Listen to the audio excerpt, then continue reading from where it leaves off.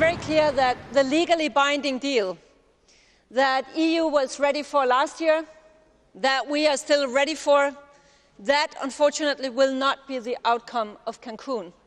Not because of us, but because others are not ready for it. Therefore, it's true that we are heading for a balanced package, but I would also say a substantial and ambitious package.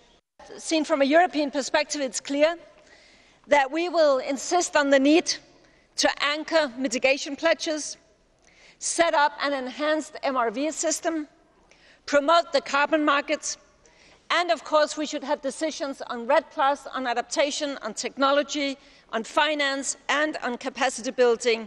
All these elements will have to be reflected in a package that we consider balanced. The EU needs to deliver on our fast start pledges from Copenhagen.